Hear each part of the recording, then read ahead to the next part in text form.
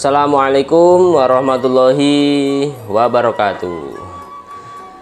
Halo teman-teman semua di mana pun Anda berada. Berjumpa kembali dengan channel youtube rivanfajrin.com Belajar dan berbagi bersama. Oke pada kesempatan kali ini kita masih akan melanjutkan membahas buku Erlangga Straight Point Series atau buku ISBS Matematika untuk siswa-siswi SD atau MI kelas 4 Oke kita masih akan membahas e, latihan pada bab 1 atau bab pecahan ya. Dan pada kesempatan kali ini kita sudah sampai pada latihan 6 ya yaitu latihan 6 itu adalah tentang pembulatan dan penaksiran pecahan. Baik mari kita mulai. Bismillahirrahmanirrahim Baik teman-teman, kita langsung ke soal di latihan 6 ya. Kerjakan soal-soal berikut dengan teliti. Nomor satu, bulatkan pecahan berikut ke bilangan bulat terdekat. Ya, jadi kita nomor satu ini diminta untuk membulatkan pecahan ke bilangan bulat terdekat. Untuk mengerjakan soal ini kita harus ingat ya bahwa kita bisa mengerjakannya dengan bantuan garis bilangan ya Contohnya seperti ini, bulatkan pecahan 5 per 6 ke satuan terdekat. Penyelesaiannya, ini contohnya 5 per 6, ini kita buat garis bilangan. 1 per 6, 2 per 6, 3 per 6, 4 per 6, 5 per 6, dan 1 ini adalah 6 per 6 ya. Nah kita lihat manakah yang lebih dekat antara 0 dan 1 ya. Kalau pecahan 5 per 6 ternyata lebih dekat dengan angka 1 daripada angka 0. Jadi pecahan 5 per 6 dibulatkan menjadi 1 ya e, mungkin itu saja. E, untuk caranya mari kita langsung saja bahas sambil mengerjakan soal untuk latihan 6 nomor 1 baik nomor 1 sudah saya tuliskan e, jawaban-jawabannya di selembar kertas ya. Jadi ada 10 soal 1A sampai 1J ya. 2 per 3 nanti dibulatkan menjadi titik-titik 1 per 5 dibulatkan menjadi titik-titik terus sampai 5 1 per 15 oke langsung ke nomor 1A nomor 1A pembulatan pecahan 2 per 3 ya saya sudah buat ini ya garis bilangannya. Jadi garis bilangannya ini ada dimulai dari 0 semakin ke kanan semakin besar ya nilainya 0, 1 per 3, 2 per 3, dan 1 ini artinya adalah 3 per 3. Nah, titiknya 2 per 3 ini di sini ya. 2 per 3 ini ada di sini. Dan 2 per 3 ini ternyata lebih dekat dengan 1 daripada 0 ya.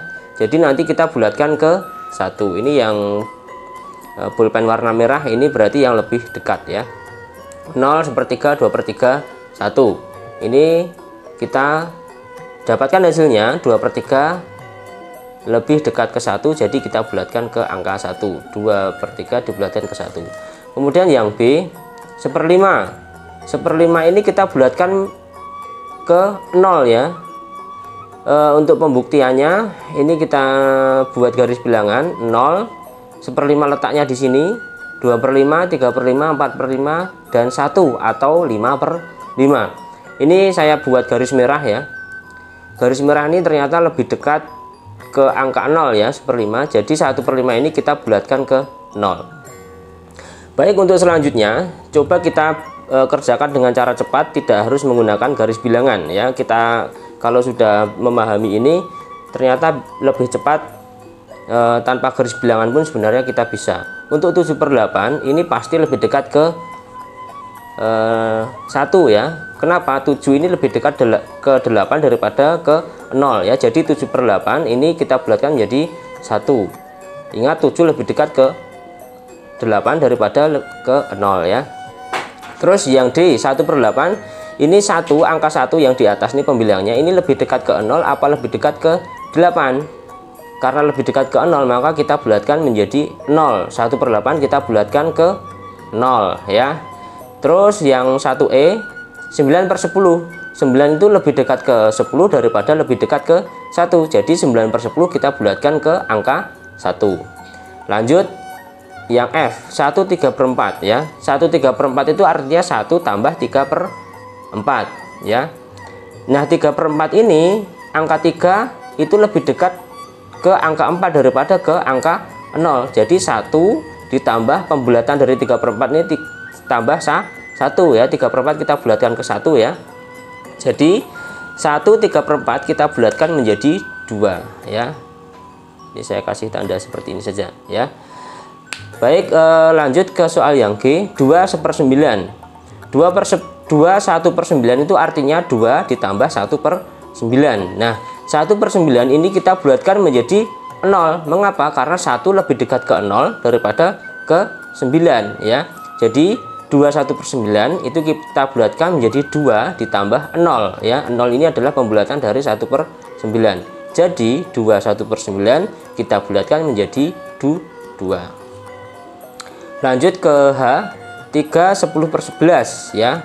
Artinya 3 tambah 10 per 11 nah 10 per 11 ini kita bulatkan menjadi 1 karena 10 lebih dekat ke 11 ya jadi hasilnya 3 10 per 11 itu sama dengan 3 tambah 1 hasilnya adalah 4 kemudian dua soal lagi bisa kalian baca di sini ya 48 per 10 ini kita bulatkan menjadi 5 kemudian 5 1 per 15 kita bulatkan menjadi 5 baik eh, demikian ya untuk soal nomor 1 kita lanjut saja ke soal nomor 2 untuk soal nomor 2, bulatkan pecahan desimal berikut ke satuan dan persepuluhan terdekat ya.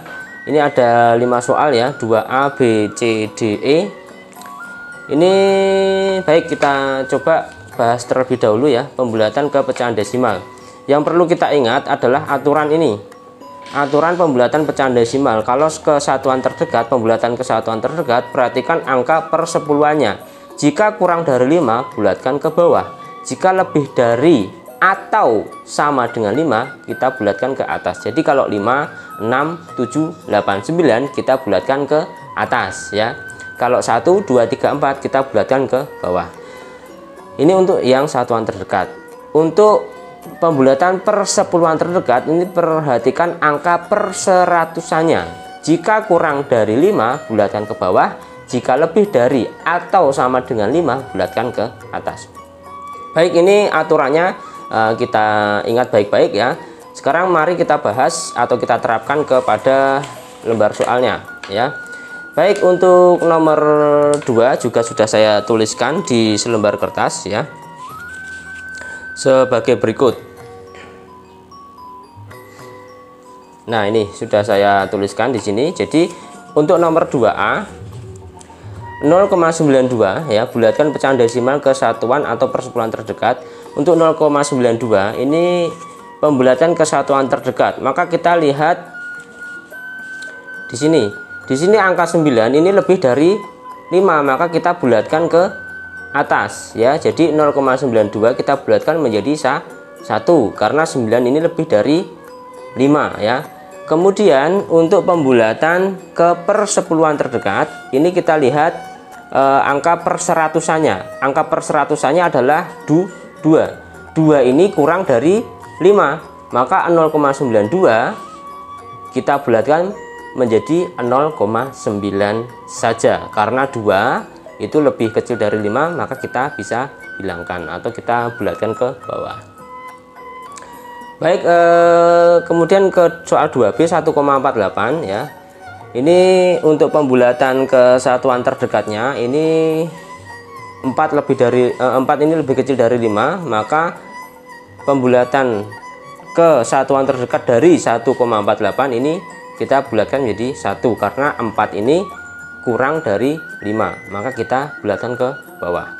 Kemudian untuk pembulatan ke persepuluhan terdekat ini kita lihat ke angka perseratusannya ya ini 8 8 ini lebih dari 5 ya. Maka kita bulatkan ke atas 1,48 ini karena 8 nya lebih dari 5 maka kita bulatkan ke atas 1,5 ya. 1,48 menjadi 1,5 baik untuk selanjutnya untuk yang soal 2 CDE ini ya kita lihat soalnya.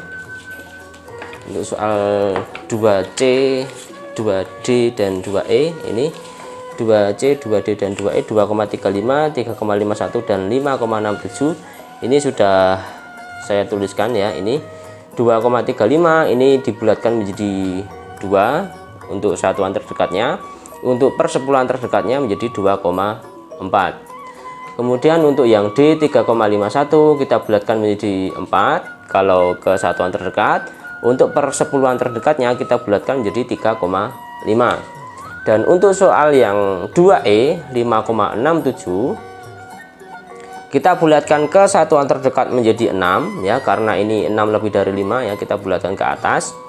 Sedangkan yang pembulatan ke persepuluhan terdekat ini kita bulatkan menjadi 5,7 karena 7 lebih dari 5 baik eh, begitu ya mudah-mudahan bisa dipahami sekarang kita lanjut ke soal yang nomor 3 ya soal yang nomor 3 ini adalah pembulatan bilangan persen ya Nomor 3, bulatkan bilangan persen berikut ke puluhan terdekat.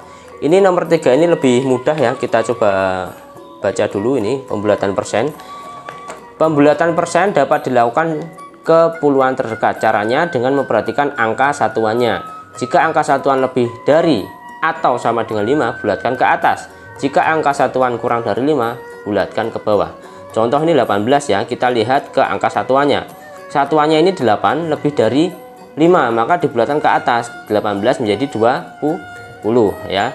Kemudian untuk contoh yang kedua 73% dibulatkan menjadi 70% kenapa? Karena kita lihat angka satuannya. Angka satuannya 3 ini kurang dari 5 jadi bisa kita hilangkan atau kita bulatkan ke bawah. Baik mari kita uh, menuju ke soal nomor 3 ya. Ke soal nomor 3 bulatkan bilangan persen. Ini ada 8 soal ya. 2A sampai 2H 28 persen 41 persen 19 persen 11 persen 37 persen 22 persen 65 persen dan 99 persen.